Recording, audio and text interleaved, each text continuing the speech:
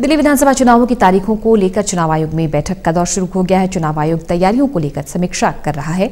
चुनाव आयोग की बैठक पर देखिए हमारे सहयोगी तरुण कालरा की रिपोर्ट। चुनाव के मद्देनजर चुनाव आयोग की अहम बैठक शुरू हो चुकी है। अशोक रोड स्थित मुख्य चुनाव अधिकारी के दफ्तर के बाहर की आपको तस्वीरें दिखा रहे हैं। इस वक्त मीटिंग चल रही है और साढ़े दस बजे, सुबह साढ़े दस बजे से ही मीटिंग का सिलसिला शुरू हो चुका था। जो चुनाव की प्रक्रिया से जुड़े हुए अहम विभाग हैं, दिल्ली के सभी डिस्ट्रिक्ट मजिस्ट्रेट, उनकी बाहर गाड़ियाँ लगी हुई आप देख सकते हैं। ये डिस्ट्रिक्ट मजिस्ट्रेट, सेंट्रल डिस्ट्रिक्ट की गाड़ी है।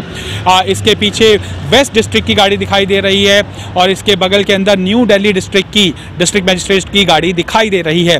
माना जा रहा है कि ये समीक्षा बैठक है। चुनाव की तैयारियों के मद्देनज़र मंत्रणा की जाएगी। अधिकारियों से पूछा जाएगा कि क्या वो तैयार हैं दिल्ली विधानसभा के चुनाव कराने के लिए। गृह मंत्रालय की रिपोर्ट भी इस मीटिंग के अंदर डिस्कस की जाएगी। चूँकि सी और एनआरसी के कारण दिल्ली की कई विधानसभाओं के अंदर ज्वलंत प्रोटेस्ट देखने के लिए मिला था। कई जगहों पर आगजनी की घटनाएँ भी सामने आई थी। तो कितने चरणों के अंदर दिल्ली की सत्तर विधानसभा का चुनाव कराया जाए, इसके ऊपर भी अहम फैसला लिया जा सकता है। लॉजिस्टिक अरेंजमेंट के मद्देनज़र ये बैठक ली जा रही है। इसके अलावा गृह मंत्रालय और इंटेलिजेंस ब्यूरो की रिपोर्ट के आधार पर डेट्स के ऊपर भी मंत्रणा की जा सकती है।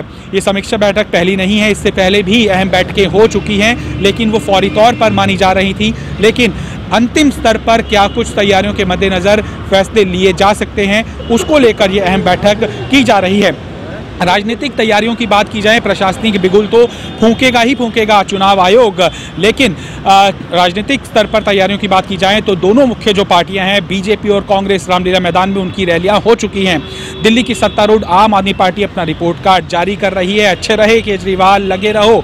इस तरह का नारा सत्तारूढ़ आम आदमी पार्टी ने दिया है। तो राजनीतिक स्तर पर बिगुल फूका जा चुका है, लेकिन प्रशासनिक स्तर पर संभवतः माना जा रहा है कि इसी साल, यानी कि ये साल खत्म होने के ही दिन बचे हैं, चुनाव आयोग तारीखों का ऐलान कर सकता है। कैमरामैन पवन के साथ तरुण कालरा टोटल न्यूज़